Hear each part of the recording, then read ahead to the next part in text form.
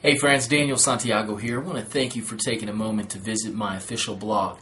You know, I created this blog with you in mind and the hopes that possibly I would be able to pour into your life and help you get from where you are to where you want to be by sharing some of the things, some of the practical strategies, insights, nuggets of wisdom that have really helped me uh, get from where I was to where I am today and where I'm going, and it's, it's, just so exciting that I have the opportunity and the ability to share it with you.